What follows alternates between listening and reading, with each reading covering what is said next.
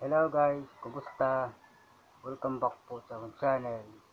Meron naman isang tip para sa inyo tungkol kayo sa pintura kung paano nyo po gamitin at saan po, at saan po pwede gamitin sa mga pintura. Tatlo po siya guys. Latex, quick drying enamel, then acrylic paint.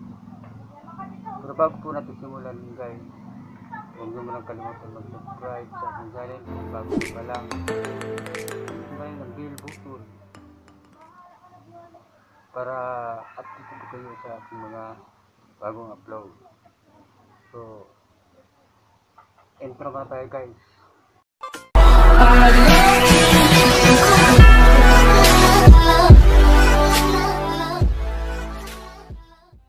Just bounce to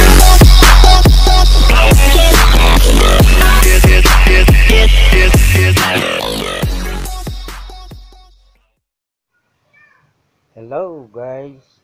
Welcome back ulit sa aking channel. Hindi na pa tayo, hindi na po tayo magpaligoy-ligoy pa.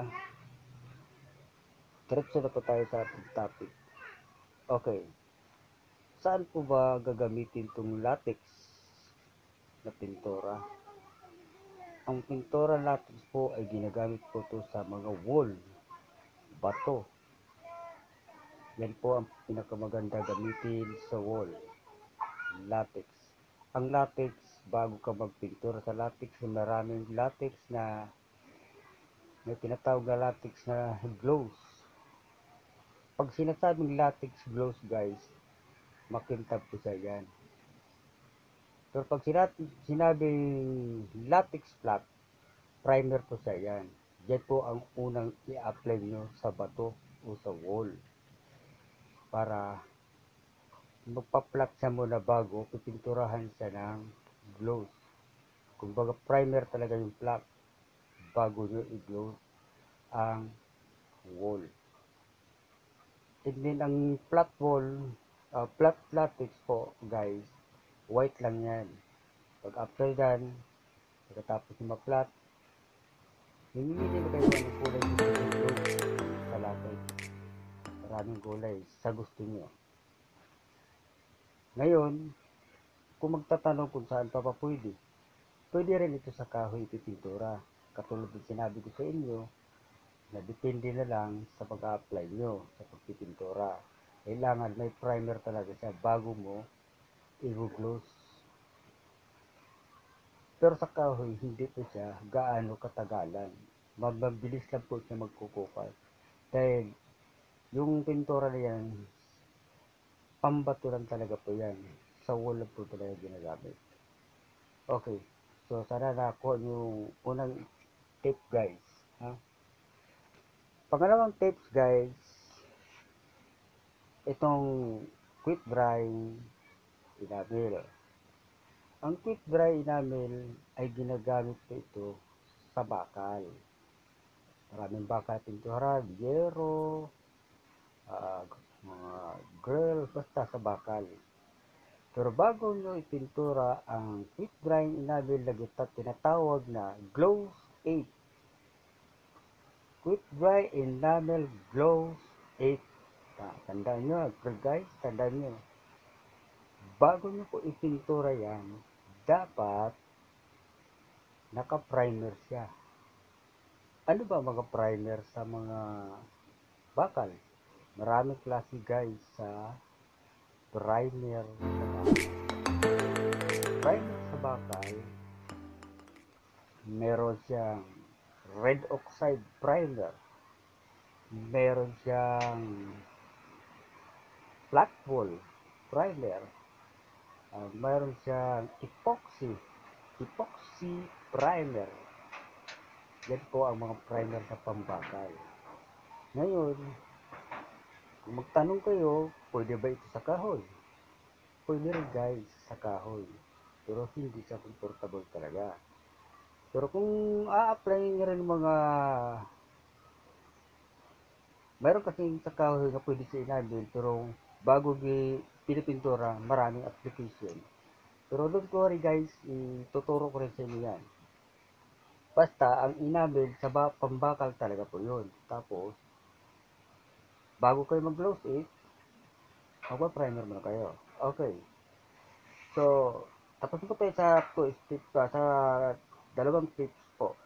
So, sa pangatlong tips na po tayo, itong acrylic paint.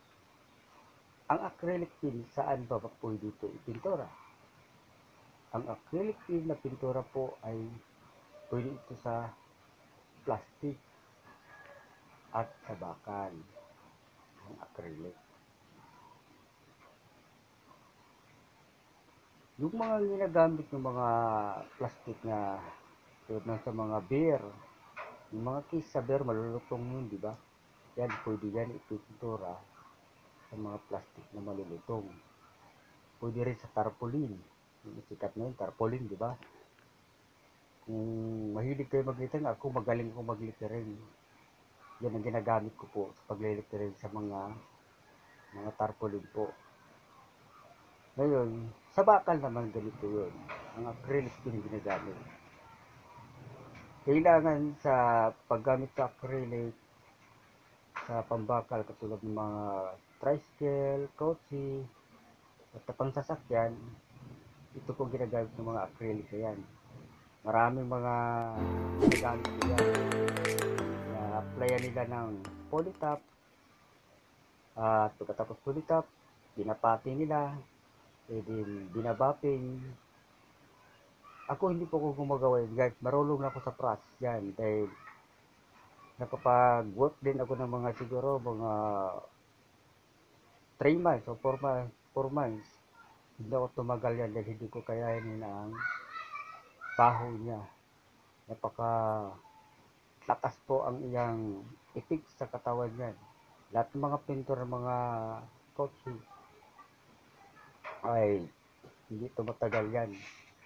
Mada, pagdating na may edad na, nasusurrender na agad kasi ang chemical po napakatapang na yan. So, yan po ang ginagamit sa mga acrylic paint. Tandaan nyo, pwede po sa plastic at sa bakal ang acrylic paint. Yung mga nakikita nyo mga signboard ng mga pintura na kumikintab, nagre-reflex, yun po yun, mga acrylic yun. Mga acrylic na pintura yun.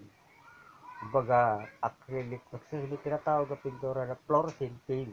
Yun na yun, mga acrylic yan. So, sana naintindihan nyo at nakuha nyo guys ang kung paano gamitin ang mga pintura na yan. So, maraming salamat guys.